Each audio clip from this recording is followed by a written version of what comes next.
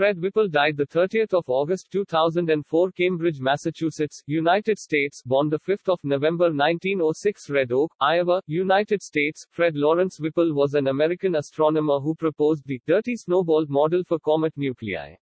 In the 1930s, using a new, two-station method of photography, he determined meteor trajectories and found that nearly all visible meteors are made up of fragile material from comets, and that none come from beyond the solar system who worked at the Harvard College Observatory for over 70 years. Whipple suggested 1950 that comets have icy cores inside thin insulating layers of dirt, and that jets of material ejected as a result of solar heating were the cause of orbital changes.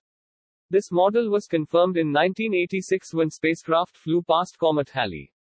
Whipple's work on tracking artificial satellites led to improved knowledge of the shape of the Earth and greatly improved positions on Earth.